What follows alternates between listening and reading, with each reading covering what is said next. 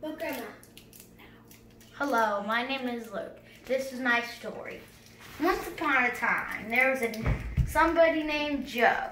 He bought a car, then went to a football game, then bought a house, bought some add-ons, then he fell asleep, then he bought a car, went to a horse ride, got some food, got some milk, saw some ducks, got a dog because he won the horse ride, then he got a wife, then he saw his neighbors, then he got a kid, then he got a goat, then he got a, a car for his kid, then he forgot the car keys, then he bought a trailer, then they went on a bike ride, then the kid turned into an army man, then got married to her, then this is him when he's older, then they got a lot of money, so they bought a car, this is the, my mom's job, this is their kid, they bought two locations, Pennsylvania and Washington.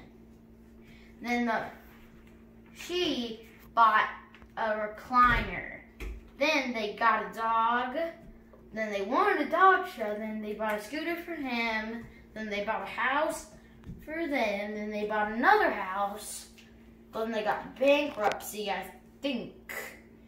No, they got a lot of money. But then he, she got married to him. Then they planted some trees and they had kids. Then one of them married Donald Trump.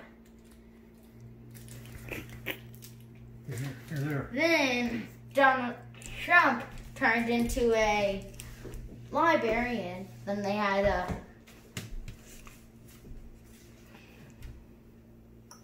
what is it? It's um a Parade. a parade. Then they had kids. Then they liked her, and then they bought a house. Then they everybody got the hug, but then she lost him. Then they bought it. Then they entered and bought a football stadium.